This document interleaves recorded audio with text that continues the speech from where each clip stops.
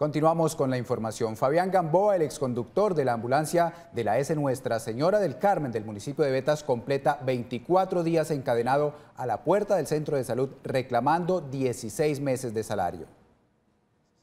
De los 24 días, 7 los ha pasado sin comer. Clama ayuda del gobierno departamental y nacional, ya que el gobierno municipal aún no le ha dado solución, aun cuando esta situación es exclusiva de la administración municipal de Betas. Davián hace un llamado general a ver quién hace algo.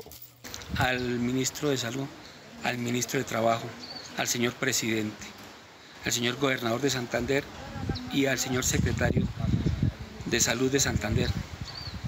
Que miren a ver qué van a hacer, que, que se apersonen de esta situación. Pero esta situación no es sola de él. Más de seis empleados a la fecha no han recibido el pago de meses de salario debido a la crisis de la S de ese municipio. Y esto pues va a seguir para largo.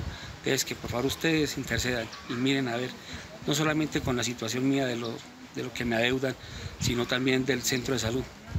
Porque aquí, como ya lo he hecho varias veces, estamos pendiente, pendiendo de un hilo porque la salud está aquí, el centro de salud no tiene medicamentos, no tiene las, las cosas necesarias para servir, para prestar un servicio eficiente.